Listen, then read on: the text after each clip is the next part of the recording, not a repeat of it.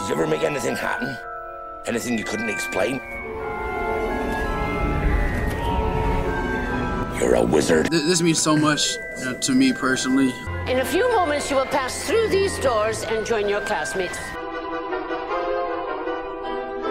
The education in the magical arts continues. In the end zone. Barkley touchdown! The Wizard!